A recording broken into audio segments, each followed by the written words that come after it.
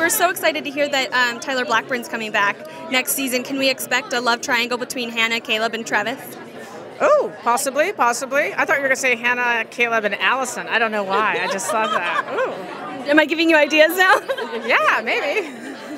Um, what can you tell us where we're at when season five begins? We know Alison is alive. How much is, are we going to see her?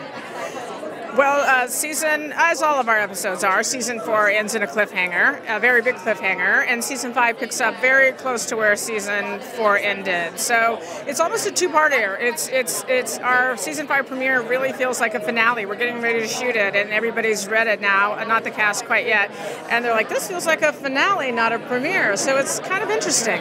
And we'll see more of Alison, or will she still be in hiding? How much will we get to see Sasha? You'll have to wait. You have to wait for that. I'll say she's back. I won't say she's back in Rosewood yet, but she is back. Back on the show, back amongst the living. And what about any redemption for Ezria? Can fans expect them to, you know, work their stuff out, or are they done for good? I, I think Ezria are soulmates, and I have said whether they like it or not, they may go through their ups and downs, and they may be together or not together, but they're always drawn together in the way that soulmates are.